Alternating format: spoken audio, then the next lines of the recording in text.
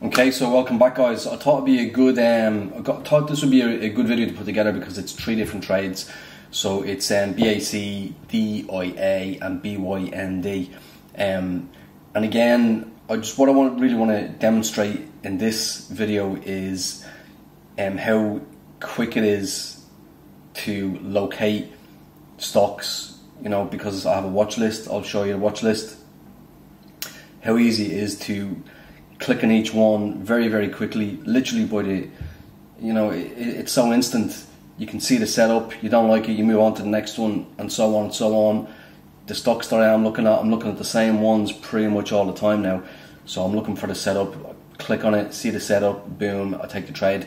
So that's the reason I've got these three trades here. So $140 $36 and $396 um, the $36 one it was basically starting to go against me. So, you know, sometimes you got to take these tiny, tiny profits instead of going into the red. Okay, so um, all in all, so five hundred and seventy-two dollars, three different trades, and again, it's a it's a demonstration because I didn't complete any pre-market analysis on these stocks because I've been watching them now for quite a few months.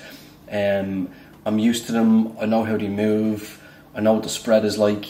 So it's really just a case of going in. I mean, it's basically just as the same as the the FTSE 100 or the Dow Jones or the DAX. You know, you know what the spread is. Um, you're familiar with how the instrument moves.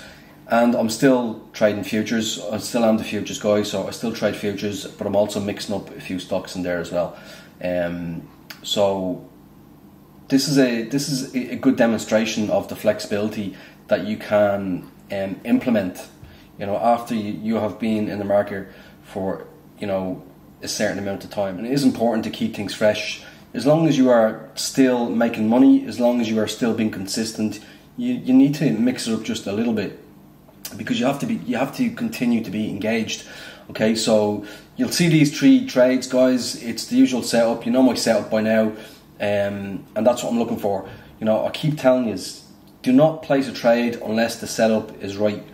Okay, now it's never going to be exactly perfect, but it has to be right. Okay, so little clip of some of my students. So students are doing very well. You know, as I've said before, it takes time to um, to become consistent. It doesn't take days or weeks. It takes months. Okay, when you come into the market, you need to realize that, understand that, and um, and that's that's a goal that you must aim for is to just you know not expect to have any overnight success because that's never going to happen okay? There's no overnight success in this business. It just doesn't happen. So i hope you guys enjoyed this week's video. Something a little bit different again. Um, a couple of nice a couple of nice trades. Decent profit $572 so pretty decent for one open. Um, as usual guys make sure you smash that like button. Make sure that you subscribe to my channel for more videos like this. And if you contact me you can contact me at my instagram. That's sambora.00 follow me on instagram. You can see what i get up to on a daily basis. So i hope you like this week's video. So this is a very quick snapshot of some of my students. So this is the this is the family. This is the sambora family. So some nice greens today on the open. Some nice greens. Well done guys Okay, so first of these trades, BAC. So I've looked on the left hand side, as I've said before with this broker, my new broker, Colmex Pro. You can identify setups very, very quickly. Seeing that, BAC, Bank of America, beautiful setup, perfect setup. Gone in with 1500 lots on a short position and quite comfortable now to hold this for the time being. Um, you'll see guys, time and time again, you see the same setups. There's a reason for this. I keep saying it I only make these trades when the setup is correct. Okay, now this one here is reversing. So this is multiple trades. End up closing this one. Um, that's a pretty decent pullback. So pretty decent pullback. But I take that because I started to find a major support level. So that's the first trade. Pretty quick, in and out, boom. Second one, DIA.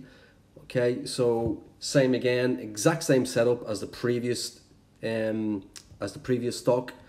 And I went in with 260 lots this time. Okay, this is a this is a high cap stock, $351, 33 cent. holding it again. So you'll see a common denominator here with my setups and it's the same thing over and over and over again.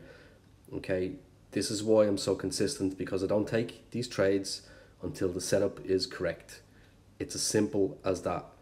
Okay, my approach to the market is very much simplified.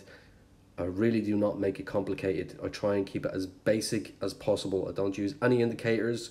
I'm not trading the news. I'm simply trading my patterns, support and resistance, price action, rejections to the support level, rejections to the resistance level, minor rejections, major rejections. These are all key elements and it takes time.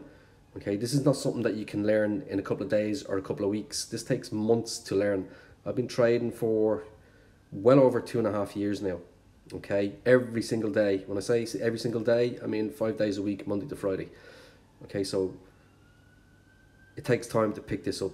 You get to have kind of six cent, for want of a better word. But the key element to this, I mean, there's a lot of key elements, but it's the setup. The setup is the first stage for me. Okay, and it is all about stages. It's a big jigsaw with different elements, different parts, and it all comes together. Okay, so you will see continuously that I take these trades, execute these positions on the same type of setups. Now, there's a lot more to it, as I've said. You know, I've outlined a couple of different elements, but within that, it's easy enough to to say it's support and resistance, etc., etc.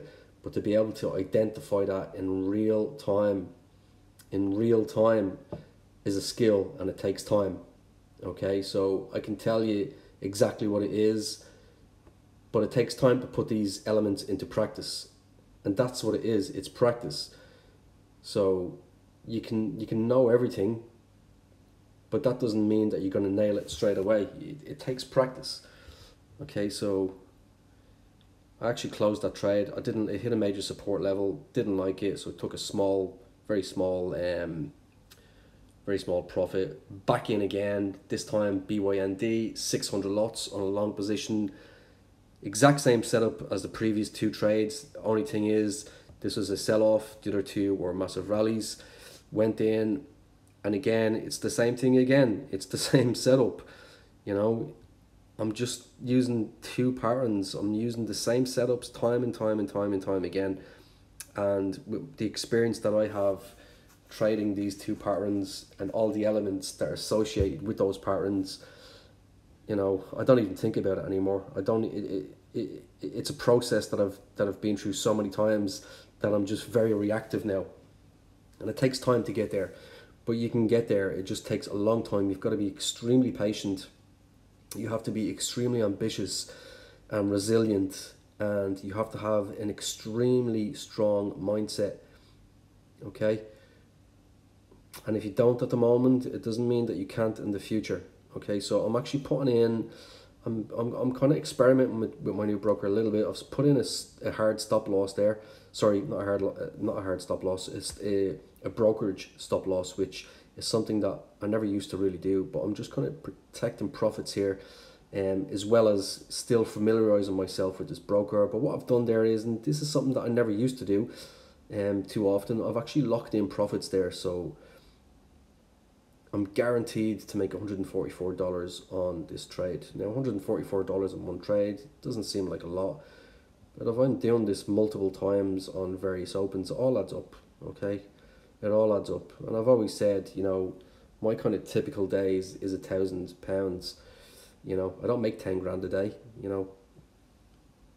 I simply don't. You know, I've always said that my kind of average and, and target, although I, I hate targets as such, but my kind of average is around about a thousand pounds a day, and that's trading um, European Open, US Open, US Close.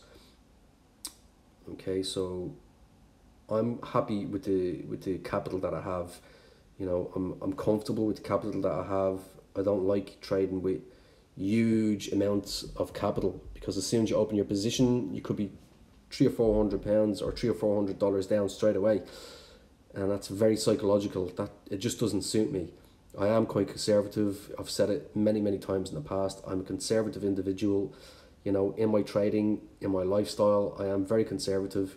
So just going to change that again now. So modifying this and you can modify your stop loss pretty quick. So I'm locking in $330. That's what I'm locking in.